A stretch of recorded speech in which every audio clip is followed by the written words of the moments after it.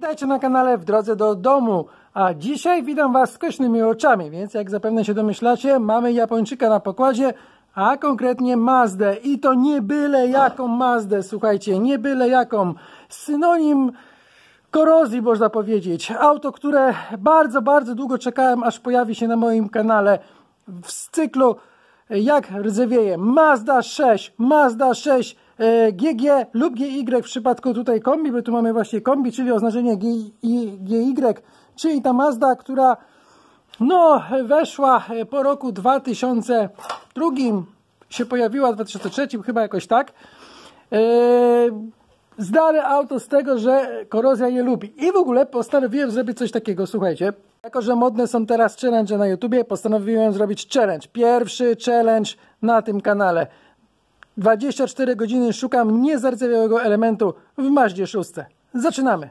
Tradycyjnie zaczynamy od przednich błotników. No, nie da się ukryć, że korozja bierze zarówno rand, cały, właściwie cały to już wiesz, już był naprawiany. W ogóle z tego co wiem, to ten błotnik już był wymieniony, dlatego że oryginalny y, błotnik y, to już był po prostu do wyrzucenia, bo przerzewiony wylot. Słuchajcie, auto jest jeszcze jedna uwaga, jest z 2005 roku. W Polsce jest dosyć długo, chyba z 8 lat, coś takiego i ma 330 tysięcy przejechane, także naprawdę sporo. Jeździ, benzynka, to jest oczywiście z gazikiem. Płotnik przedni, no jak widzimy korozja zaawansowana, nie ma co się oszukiwać. Może sobie tutaj poświecimy. Eee, mocowanie, o tutaj jest troszkę było widać robione konserwacji. No, trochę kieli, oj kieli, widać, że, że tam bierze. Pewnie od góry byłoby jeszcze lepiej. Weselej w sensie. No wahacze to są elementy wymienne. Tutaj widać coś było konserwowane. Ale jest korozja mocowań wahaczy tak samo. Ale póki co powierzchniowa. Póki co powierzchniowa, także nie jest może najgorzej. Przejdźmy dalej, jeżeli chodzi o naszą maździoszkę. E, drzwi przednie, ranty drzwi, no skorodowane. To tak może tutaj tego nie widać, ale tutaj to... Nie, nie, nie wiecie, ja nie będę za mocno naciskał, ale no tutaj skorodowało. Tu, no, no chyba nie muszę tłumaczyć. Tylne drzwi, no też rdza, tak? Jest rdza. No nie da się ukryć. Zobaczymy.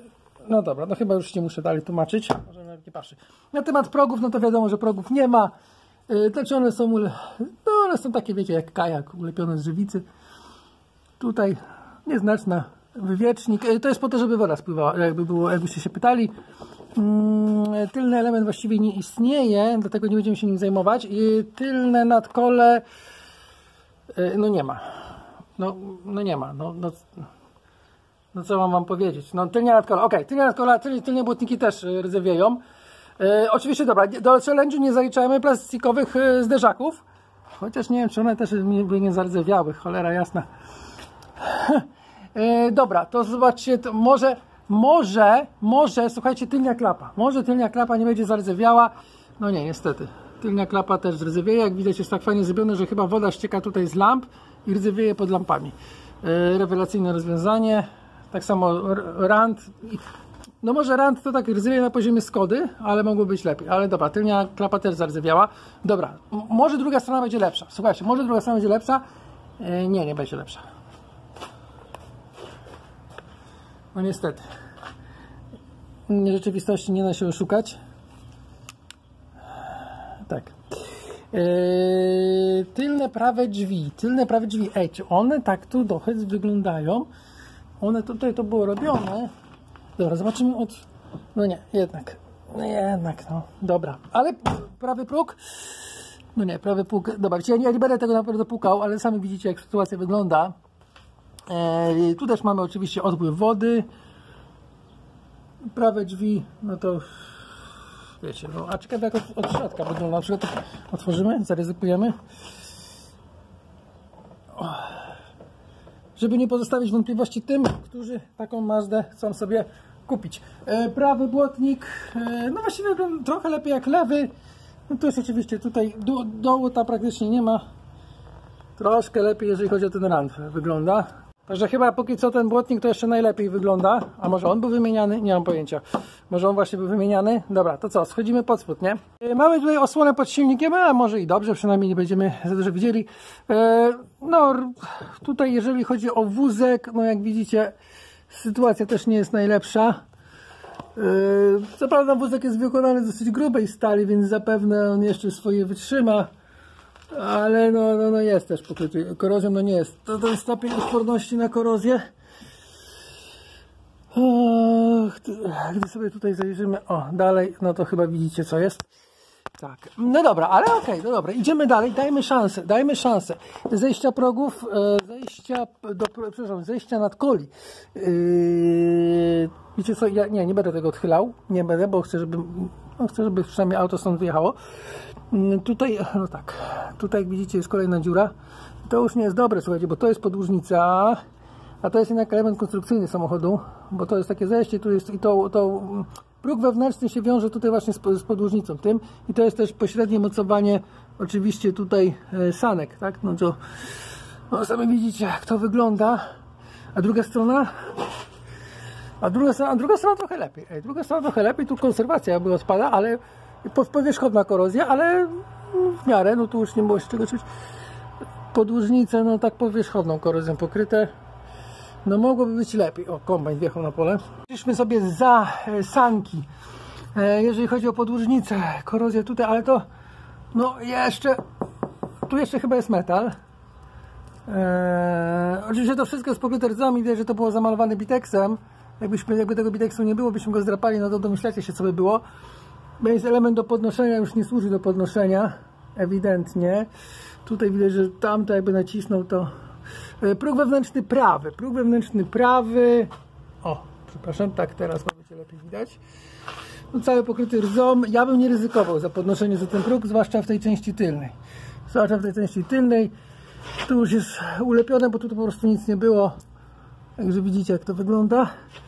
Podłoga była coś tutaj maźnięta, ale i tak e, rdza wyłazi. Nie da się ukryć.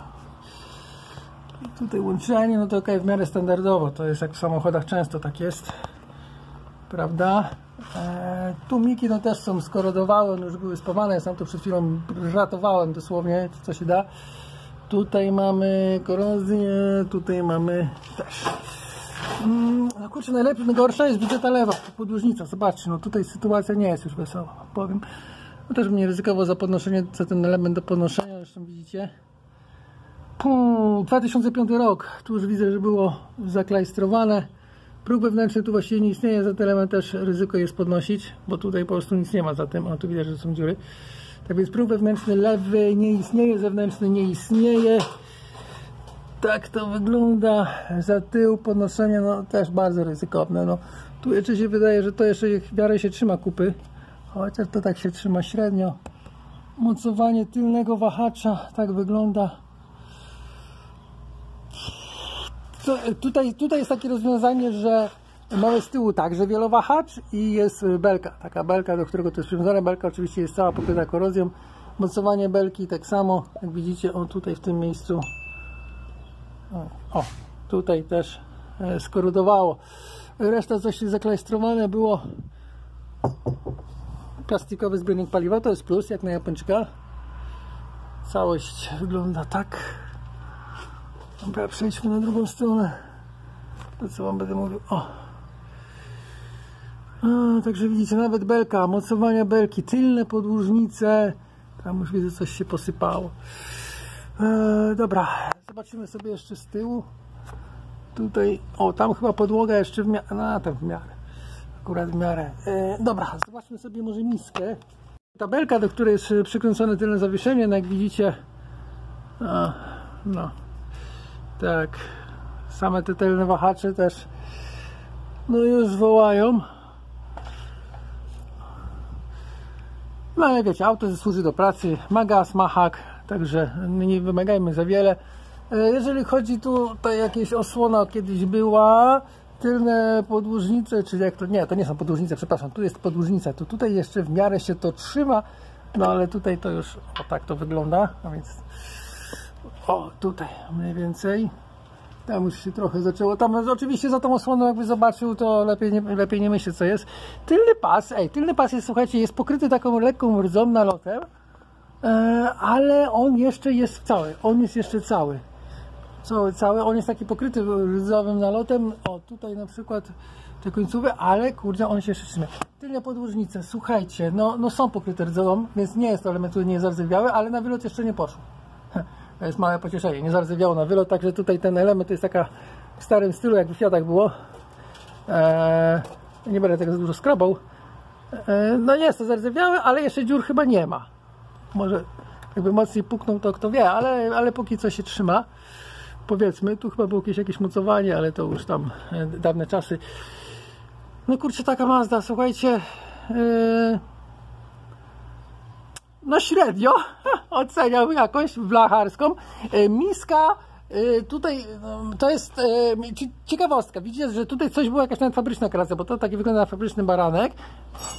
Tutaj, tutaj jest element do holowania innego samochodu, to antykorozji nie było i ja bym się bał tym holować inny samochód, albo tym hakiem. Tutaj jak widzicie miska też rdzewieje. O. No kurczę, wiecie co? No nie jest za dobrze, nie jest za dobrze. Mocowanie kielichów, bo w sumie zauważyłem, że nie wspominam o tym, a to jest chyba ważna rzecz. Od dołu, jak widzieliście, troszkę pokryte korozją, ale z górą e, nie jest tak źle. Nie jest tak źle, bo to jest element taki dodatkowy, on skorodował, natomiast sam kielich wygląda dobrze. Mm, drugi kielich, jeżeli spojrzymy, no przeszła już korozja na niego i tutaj wygląda trochę gorzej, bo wiecie, potem jakbyśmy ściągnęli, to potem na pewno jest znacząc serca. E, także tutaj troszeczkę gorzej, ale nie ma tragedii. E, sama maska, co ciekawe, Yy, prześledźmy sobie. Słuchajcie, ona naprawdę dobrze wygląda. No nie tak, że nie ma zupełnie nigdzie korozji, bo tutaj już na tych mocowaniach, tutaj, tutaj takich miejscach newralgicznych to wzięło, więc nie zaliczam, że nie ma korozji, ale je wygląda dobrze. Maska wygląda dobrze, jakbyśmy sobie ją obejrzeli zresztą z, tak z góry po prostu. Jak to na auto popatrzymy. Nie, no to nie jest źle. Tak nie widzę jakiejś większej korozji.